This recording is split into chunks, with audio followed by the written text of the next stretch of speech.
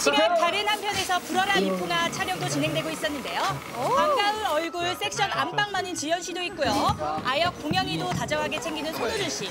분위기가 정말 가족 같아요. 유성이 오늘 무슨 날인 줄 알아? 몰라요. 하러 왔는데 같은데. 불어라 미풍아 팀입니다. 안녕하세요.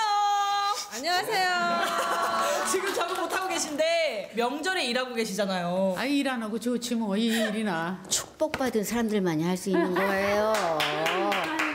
축복받은 연기력 선보이며 미운 시어머니 역을 톡톡히 해내는 금보라 씨.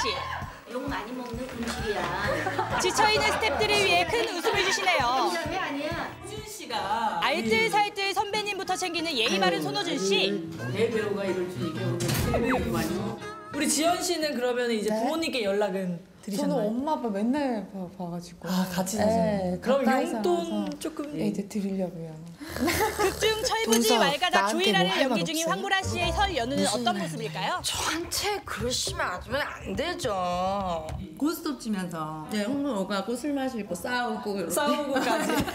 저는 그 부모님이 가족들이 다 집안에 계셔서 명절 때 이렇게 한 번씩 내려가서 만나면 그 만남 자체가 너무 좋으니까 그럼 집안일은 좀 도우시나요? 돕게 생기질 않았어. 손호준 씨 딱하기였죠. 쟤네들 나 어깨 밤낮 주물러주고 이래갖고 집에서도 못 받는 효도를 받는다고.